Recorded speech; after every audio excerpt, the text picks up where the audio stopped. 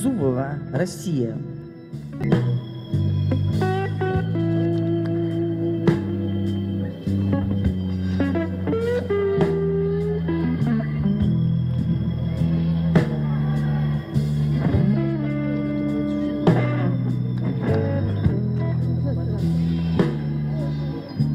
Одиннадцать и двести двадцать пять тысячных оценка Анны Травковой за упражнение на брусьях.